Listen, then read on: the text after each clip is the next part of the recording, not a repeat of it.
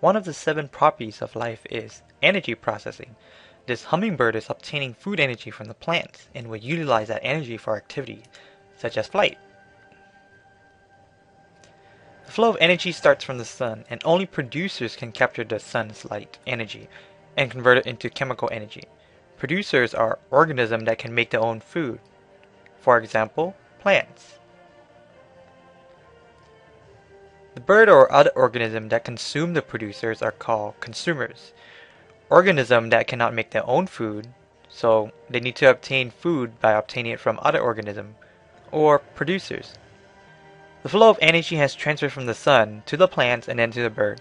Other organisms can feed off the bird, like bigger animals such as the snake. In this case, the snake is also a consumer. Then this would make the hummingbird the primary consumers.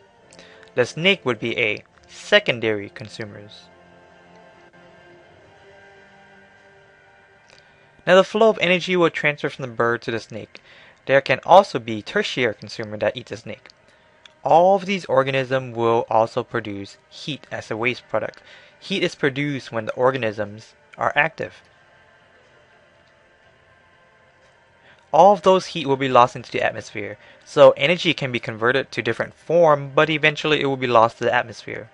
As long as the sun exists, it can sustain life on Earth. Another word often used that is the same as producer is autotrophs. This is more scientific.